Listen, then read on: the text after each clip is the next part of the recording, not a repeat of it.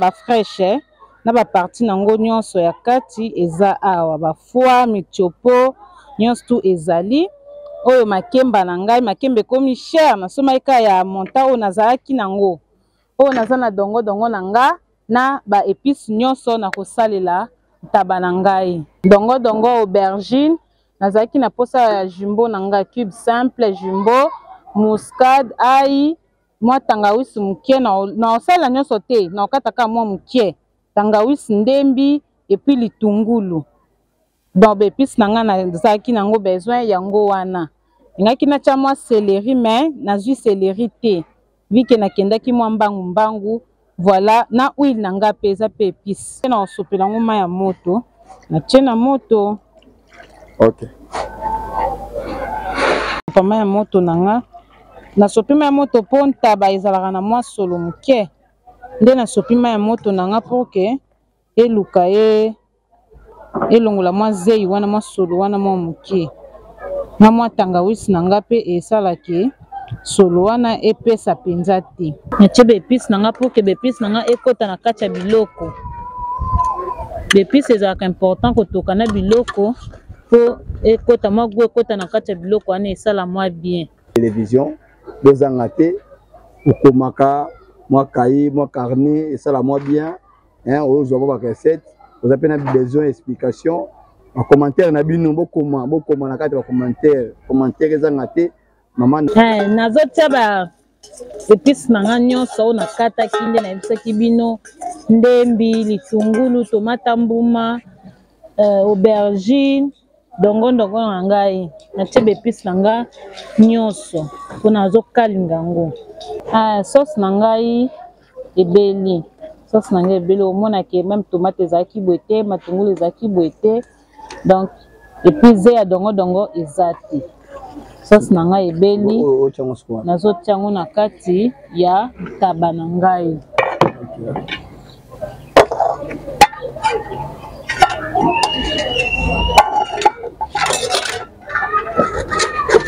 nasangisi yango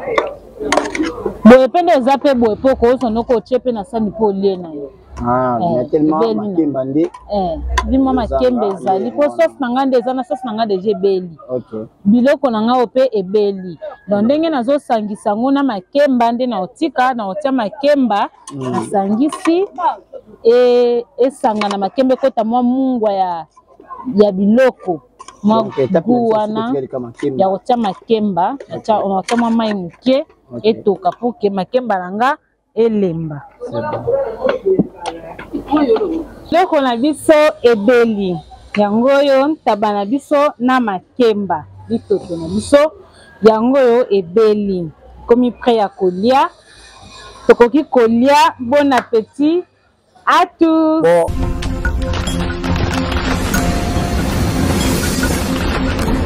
Voilà, euh, Amélia Lozolo Télévision,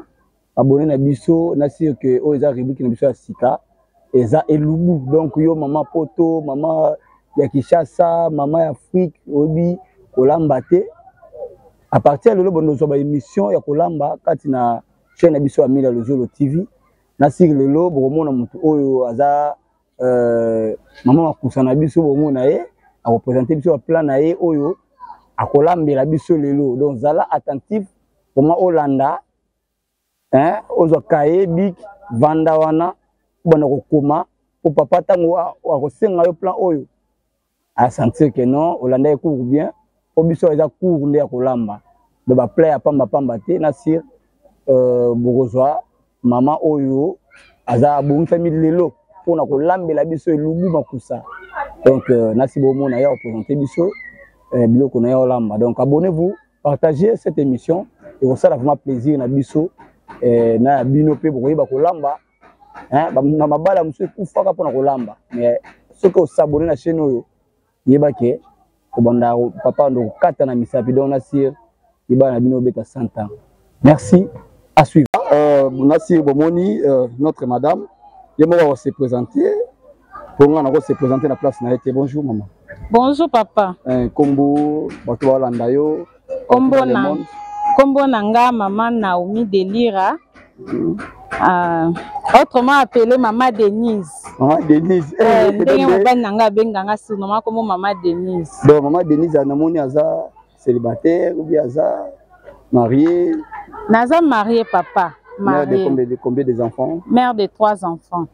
Au moment Denise na sûr que ba ba boné na biso bazo de ba cahier na ba bic ba vandi. Mm. Yo nde représenter biso et lubu na lelo eh osala osala elubu nini oyo osali lelo présenter biso pe na bio Congo oyo osala po bazo de ba cahier ba komaka. Euh, nayebi te soki okopresente bon lelo na ntongo nalamukaki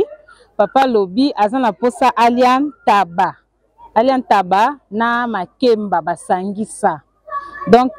nakendaki ntaba baparti ya kati eh? parti libanati bamitsopo bafoi ba tout ça nde azalaki na mposa alia yango basangisa na makemba na dongo dongo nde nakendaki gambela Nasombi ntaba na ngai oyo ntaba fraîche na ba partie na yango nyonso ya kati eza awa ba foie, mitiopo nyonso tout ezali. Oyo makemba na ngai, makemba ekomi cher nasombaki kaka ya montant oyo nazalaki na yango. Oyo naza na dongo dongo na nga Na ba epices nyonso nakosalela ntaba na ngai. Na mopanzi natie mayi na ngai ya moto. Mayi ya moto eza wana po nasokola ntaba na ngai na mayi ya moto. Eza ntaba fraiche. Dongo dongo, aubergine. Nazalaki na posa ya jumbo na ngai, cube simple, jumbo, muscade, ail, mua tangawisi mukie. Nakosalela nyonso te, nakokata kaka mua mukie. Tangawisi, ndembi et puis litungulu. donc baepice na ngai nazalaki na yango besoin yango wana engaki natya mwa celeri mais nazwi celeri te vike nakendaki mwa mbangu mbangu voilà na huile na ngai mpe eza mpe epice voilà en bref biloko na ngai yango oyo bon sikoyo awa etape nini sikoyo tokota ozokota fo nasokola ntaba na ngai naosokola yango na mai nanu ya piyo nasokoli yango très bien mpo nalongola basalite nyonso bino mo bomoni eza na mwa basalite naolongola basalite nyonso nasokoli ntaba na ngai bien apres naotia yango mai ya moto tomoni siko ndenge otie mai ya wana nanu ma ya ma ya pio nanu mm. osokola na taba nasi bolanda bozolanda ndenge mama denise autre mapele denise mama naomi ndenge alobi donc euh, apresente biso baepice ba, ba na ye sikoyo akomi na niveau ya kosokola taba na biso mama sokola biloko très très kitoko po papa ntango azolia ayebi ke no mwa mabele ekozala te nyonso wana hmm. ebongisa mwa libala banini donc euh, bokozwa biloko kaka awa na mela lozolo télévision donc euh, abonnez vous hein, partagez émission oyo otala ndenge baolamba dongo dongo kaba batya dongo dongo na makemba nga kuna liango nano ntina naza boye donc lelo asi na omeka yango donc nulle part ailleurs eza kaka awa na amila lizolo télévision euh, ma, mama naomi ndenge ozosokola yango boye fo osokola yango combien de fois ko vincent combien de fois mpona nayebi ke babiloko ya kati ezalaka mpe na bazelu okosala yango combien de ozo vincent combien de fois bon nga nasukoli biloko na nga na mai ya pio na pasango ata 4 fois ata 3 mhm. fois mpe bokoki kopase mhm. neti na, na bato bana bakuzi na bandako wana mai eza nango akolekisa ne kaka na pompe wana ezosuka mpo mabumu neti oyo eza mabumu mabumu ezalaka na zelo ebele donc il faut kopasa nso osali keba te bokolia mabele bokolia mabele ebele okay. donc il faut kopasa yango mpenza bien mpona kolongola salite nyonso mpona kolongola salite nyonsotoza nano etape ya kosokola nano eh. taba na biso eh, tozosokola yango wana nde toke wapi apres wana nde nakosopela yango mai ya moto natie na moto okay. pama ya moto na nga nasopi mai ya moto mpo ntaba ezalaka na mwa solo moke Nde nasopi mai ya moto na nga pour que eluka e elongola mwa zeyi wana mwa solo wana mwa moke na mwa tangawisi na nga mpe esala ke solo wana epesa mpenza te donc e, ezala bien na monoko oleki olia yango ozoyoka mwa zeyi mwa nini mai ya moto ekosala ke e, bazei wana mwa solo wana ezala te kestion moko oyeli ngai sikoyo na nini otie mai ya moto boye ekoki kosala kombele ta na mai ya moto mai ya moto eza kaka mwa une minute ou bien quelque seconde kaka hmm. eza nango temps ebele te mwa une minute deux minutes olongoli na yo mai eza mwa moto yango na obendabenda yango otyongo so na mai ya malili eh, natyeli mpo na pase ya suka a eh, ah, nazotuta baepice na nga natyaki muscade ai eh, litungulu ndembi na tangawisi moke nde natuti yango nyonso tu nazotya yango na kati ya biloko na nga biloko na nga deja eza na moto ezo deja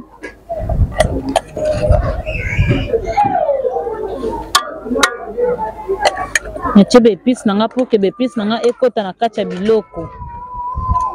baepice ezalaka important kotoka na biloko mpo ekota mwa gu ekota na kati ya biloko wana esala mwa bien oyo ya kobakisa mpe na sauce mpe ekozanga te kozala mais oyo ya kotokisa biloko ezalaka très important eh, nde deja natie biloko na nga ezotoka deja na moto nazolinga sikoyo nakata baepice na nakata ndembi na nga litungulu tomate aubergine na na dongo dongo na nga parce que nakokalinga yango nakokalinga yango soki misuni na nga elembi nakokalinga baepice na nga oyo nyonso tu nde nakotya yango na kati ya biloko na makemba mpo etoka ensemble donc nazokata baepice na ngai il faut osokola mpe dongo dongo eh, il faut osokola dongo dongo il faut osokola parce que nde batyaka yango na wenze wana ezala na mwa poussière tusa kolongola poussière wana parce que yango balongola poso te kolongola poussière wana elongwa na longoli ba babiloko mpo ezalaka mwa makasi dongo dongo soki ozokata yango il faut kosimba oyoka soki eza pete eh, wana okati yango otyela olambi yango me soki eza makasi okotya yango makasi bongo ndenge nini parce que ntango olamba ekozala mwa makasi na monoko donc ebonga ezala pete ntango otya yango na biloko elembi soki ozolamba yango ya ze parce que dongo dongo mpe balamba ya ze nga naolamba ya zei te naolamba ya okalinga soki olamba yango ya zei okoki otyana mpe mwama makasi wana mpo na ntango otya bicarbonate ekolemba na yango zei wana mpe okoki olamba yango mpe na taba wi olamba na yo mobali na ngai ndalinga nde dongo dongo ya zei te yango nazolambele oyo bakalinga ya kokalinga wana ebimaka zei te nasi bolanda bobi ni par ailleurs ezaka awa na amelia luzolo television nde bokozwa ba recette ya bien donc bosabone bokomante bolike bopartage surtout ba émission na biso ya elubu oyoyo eza ba rubrike ya sika ekoti donc euh, bozala vraimen branche kaka awa bomona barecette moko donc nayebi te bamama poto soki oza besoin mama nao asalela yo service traiteur bia lamba oyebi na kini awa oluka balambelo bio nimero eza kaka na se ya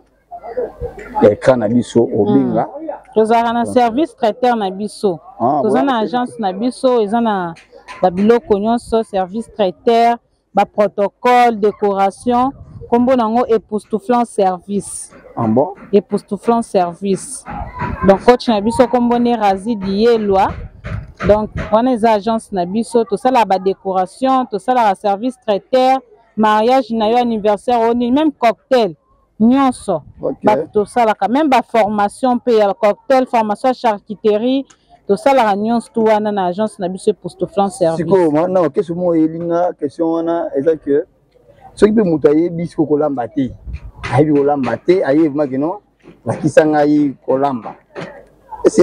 ekozali batemp to ndenge nini ekozwa temps te eloko nyonso soki olingi o oyeba esengaka volonté soki oza na volonté ya koyeba ya kosala eloko wana mm. otie volonté na yo okoyeba kosala yango kolamba soki otie volonté okoyeba ka ndenge nazo explike awa okay. na ndenge nazo detaille nyonso wana soki olobi olamba yango ata oyebi kolamba te okolamba otie video na yo ozotala asali bepisi boye asombaki bepisi boye asombaki biloko boye asukola yango nombre de fois boye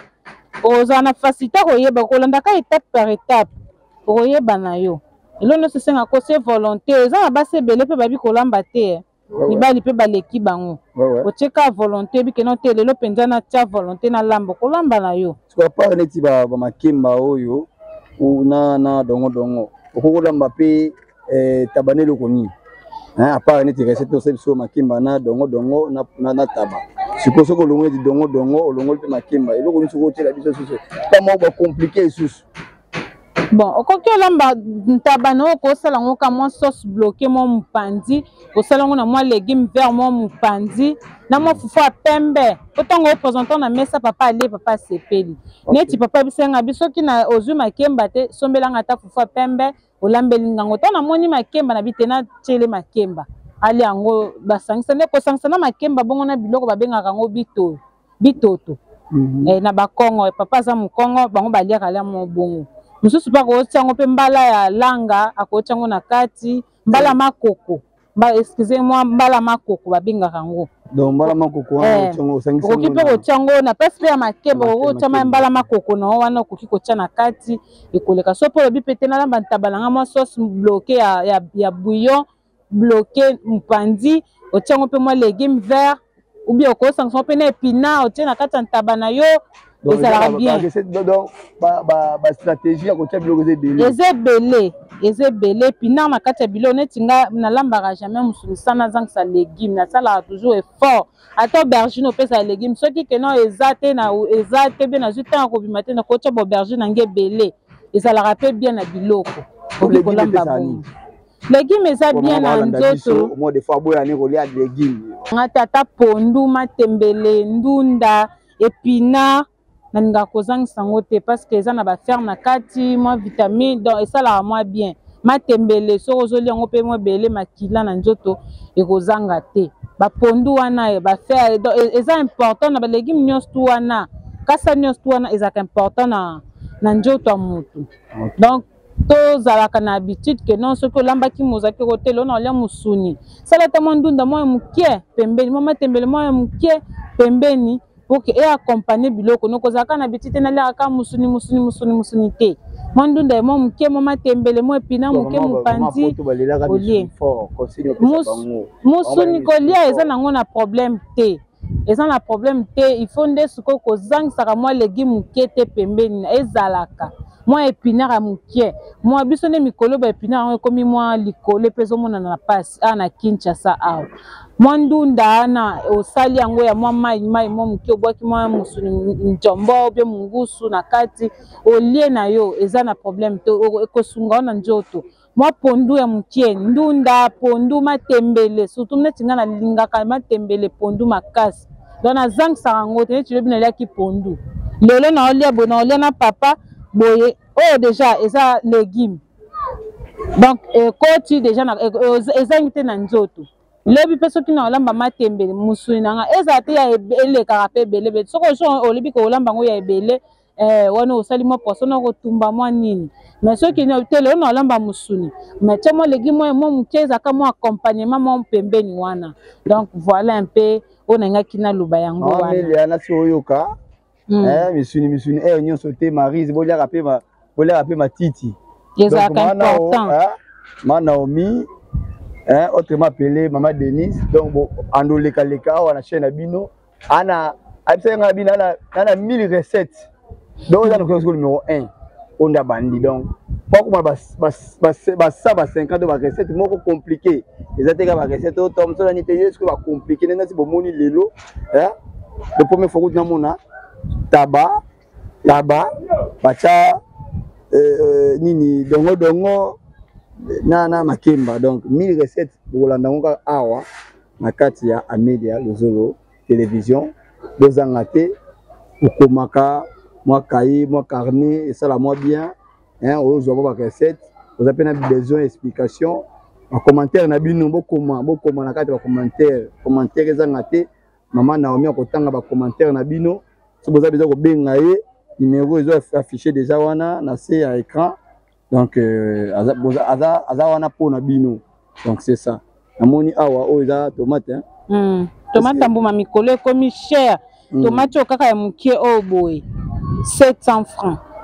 Tomate ekomi cher mikolo. Bana question moyelinga est-ce que okoki mpe kosalela mpe eh, tomati ya ya, ya linzanza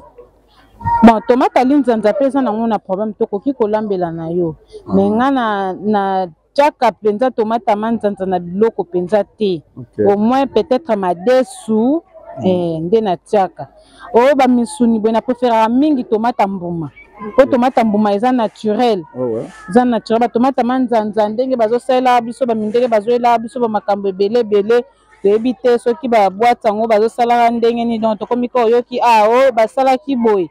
donc tozo neti ngai na preferaka mingi nalamba na ngai na tomata ya mbuma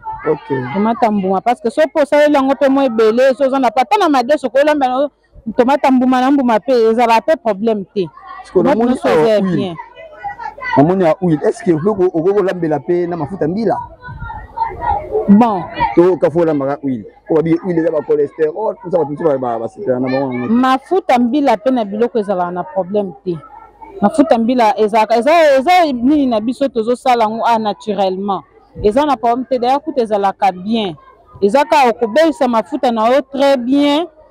ezala pe mafuta ya bien parce que ba mafuta mbila ba misusu bakoma ko kosala yango bisala sala mm. mafuta mosusu omona eza gout ya mabe mwa eh, eh, mafuta donc bakomisa yango ndenge olia boye ezoswana mongongo so mafuta eza yango ya bien naturel bio ya bien omona ntango okalinga yango ebelaka mpe bien non tokolamba na biso mpe mafuta mbila esala yango eloko esala nango eloko te mafuta so ebeli be ntango osangisi yango na sauce wana ebima nango kaka lokola huile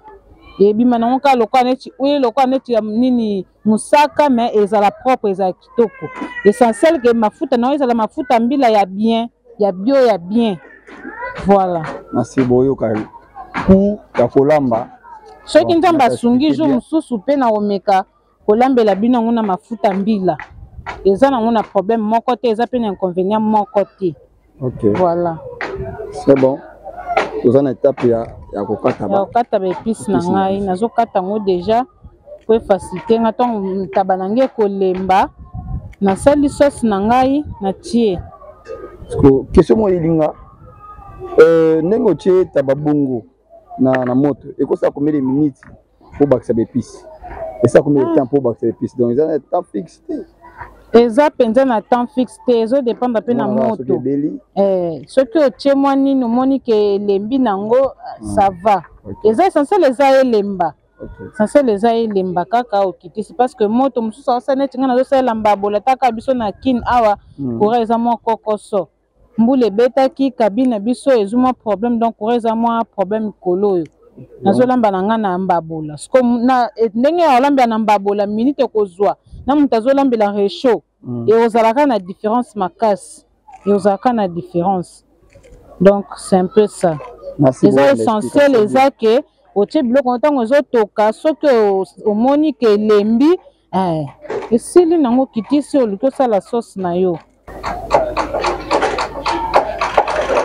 Oyo eza aubergine, je pense. Eh, aubergine. Okotya mpe poivron. Oui, oui, poivron mpe otya.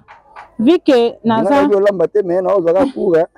Yango mwa kesu zela nga kaka. Poivron ezomonana na mwa koko zwa mikolo oyo hmm. donc ezalaki ka ya mike mike baprovan mwa ya mike mike wana ekoma lokola bapilipili wana alingaki kosomba yango te alingaki kosomba yango te provo kotya na yango mwa provan na oso eza na yango mingimingi na poto bazala na ba bapoivron rouge jaune vert wana ezalaka no ah mpe eza na yango a pesa na yango eza kaka makoki ata na ba supermarché wana tozwa na biso yango mais na wenze na biso wana nakenda kotala vike natikaki mpe mwana bebe mpo naza na mwana bebe ah bon? tikaki mwana donc moto ako kotikela ye ntango molai azalaki te yango nawelisaki mbangu nasombi mwa baepice mm. oyo ekokaki mpe kosunga elamba biloko na ngai bien ebela bien masima ah, nao azoexplike très bien soki vraiment olandi yango ozwi kaye na yo notebook na yo ozokoma je pense que okoechoue te pona mm. ndenge alobi aexplike nyonso moko moko moko point moko moko baquestion mpe oyo natuni ye je pense que arépondre très claire donc euh,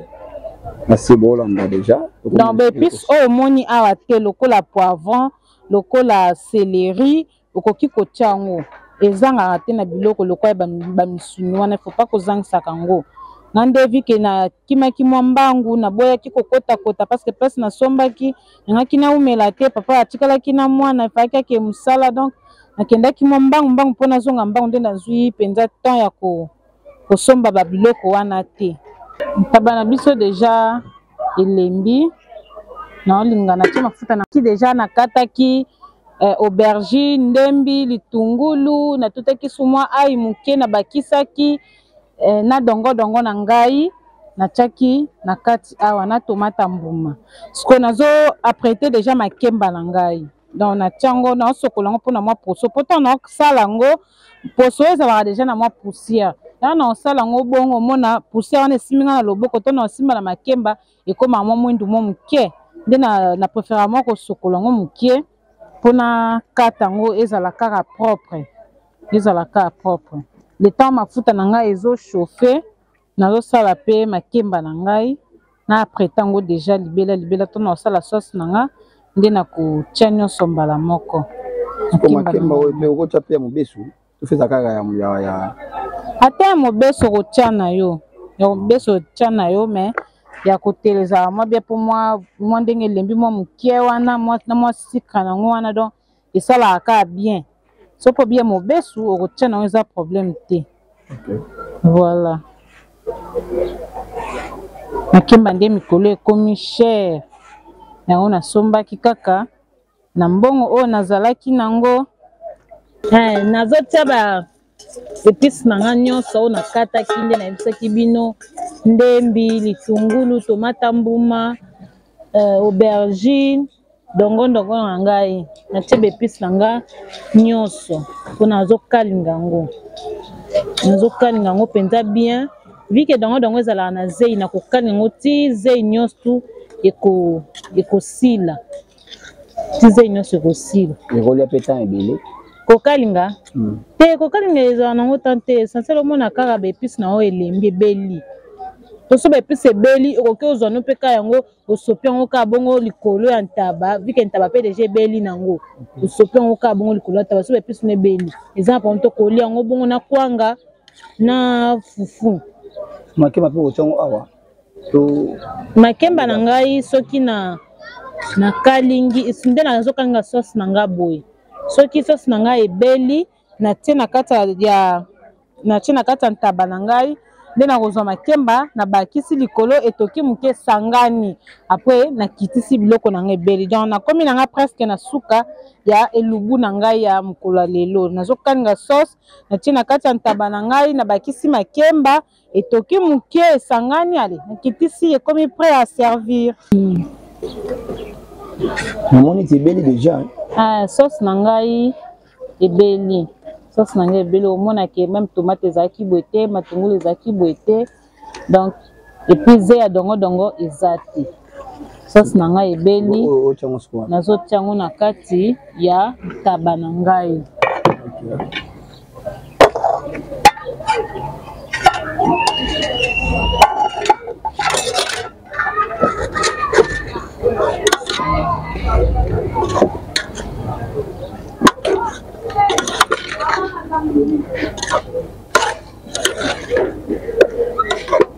natie na kati ya ntaba na ngai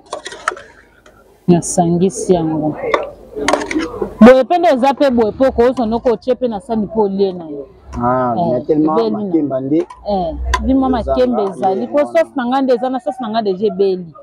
biloko na ngai mpe ebeli don ndenge nazosangisa yango na makemba nde naotika naotia makemba mm. asangisi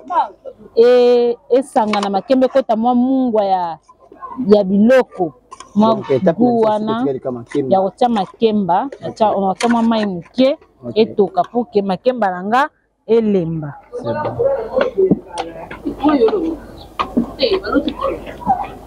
okokalinga makemba obe ezalaka bo soki mpe olingi oyo sala ndenge nasalaki sosi na ngai ndenge ezalaki wana hmm. na ntaba na ngai natia yango mopanzi nazwi mpe makemba na ngai mpe nakalingi mopanzi mm. nalia yango bongo na makemba ya kokalinga eza nango mpe eh,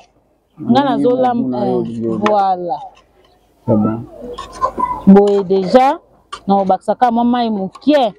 comme ça etoka dans l'ensemble makemba elemba mm. après tolia biloko na biso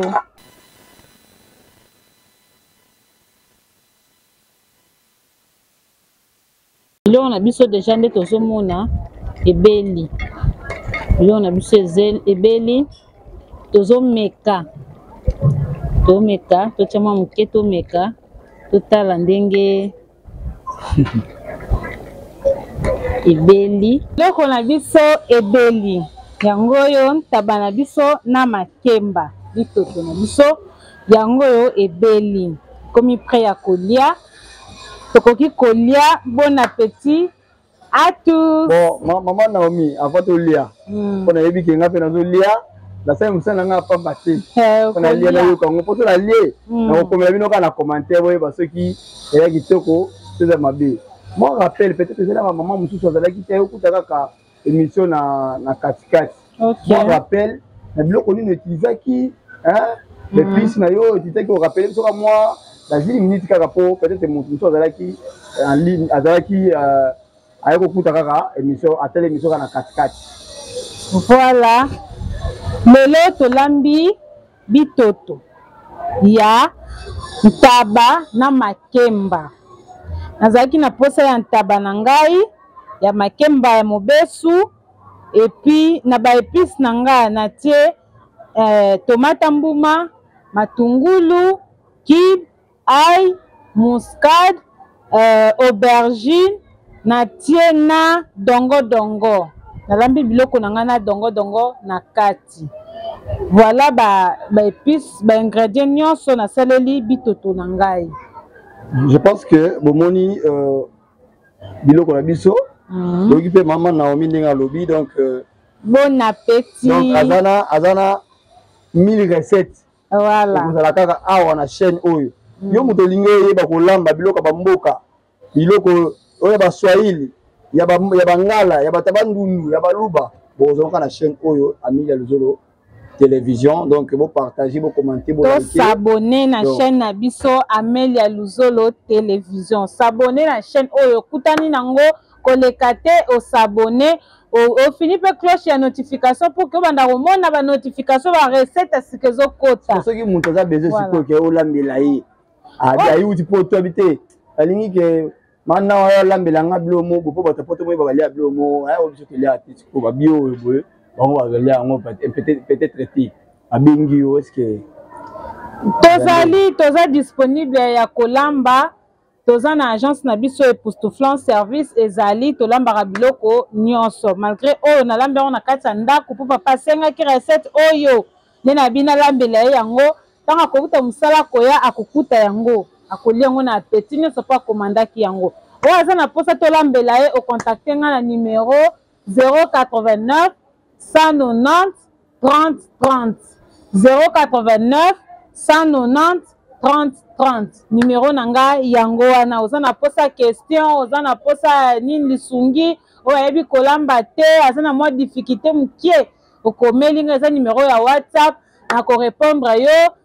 nakolakisa mpe mwa barecette mosusu ya mokie bangala tozali parce que ngai naza mongala moswahili barecette na biso wana toza nango malembe malembe tokobimisa yango awa mbote na yo mbote napesi mbote na bato nyonso bazolanda ngai napesi mbote na mama amelia luzolo mbote na ye bisika azali napesi mbote na famille na nga na etats-unis papa misi Mama Yuyu, Bernadine, napesi bino ba mbote. Napesi mbote na mobali na ngai, papa Jonathan Bafuidi, eh. Dario. Ah. Monsieur le designer, napesi ye eh. mpe mbote bisika azali. ntango akoya oyo okuta biloko na ye eza déjà prêt bon avant akuta nango afa nalia nameka eh, papa ikomeka nasi bokoyoka kaka nakokomante kaka ngai nakokomante kaka soki eza mabe to eza malamu bolandaka émission na suka commentaire omona kaka ke no eh, na okoma eza kitoko obi eza mabe ciao nga nazolia